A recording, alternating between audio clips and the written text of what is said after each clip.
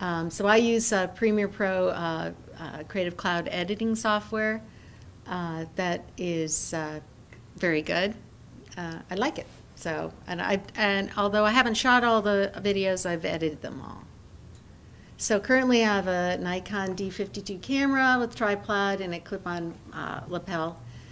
In the future, we're hoping to get a real live video camera with a boom, perhaps a second mic, some other things that would be really helpful to have uh, when you're shooting these kinds of things.